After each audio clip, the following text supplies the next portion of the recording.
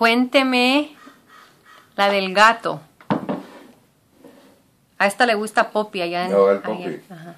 que le, eh, estaba una familia que tenía un gato en la casa y ya no lo querían porque era muy latoso el gato y les comía la comida y todo eso. Entonces ocuparon a un señor para que lo fuera a tirar en un costal, pero que lo fuera a tirar muy lejos. Y ya no lo querían ver al gato. Y se fue el amigo desde muy temprano con un costal aquí en el hombro y, y- se lo llevó y, no, ya en la tarde, como a las 5 de la tarde, ya regresó pues, a cobrar los 5 pesos. Pero pues el gato ya estaba en la casa otra vez. Regresó y llegó primero que él. Este, porque los gatos tienen mucho sentido de orientación. Entonces le no, mira, ahí está el gato. Y no, pues no le pagaron. ¿Dónde lo tiraste? Pues allá, en aquellos cerros, dijo.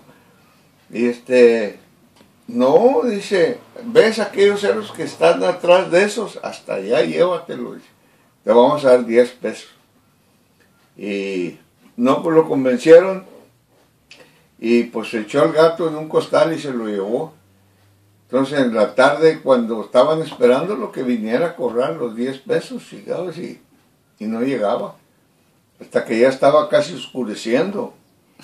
Y entonces llegó el amigo todo raspado, todo espinado, todo mu- muerto de hambre.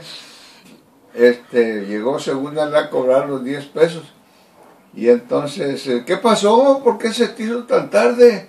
No, hombre, chingado, si les digo, si no ha sido por el gato, no doy con la casa, chingado. El gato lo trajo para la casa, mijo, fíjate.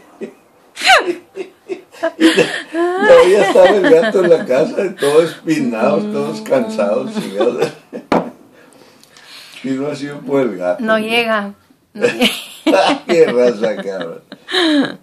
No,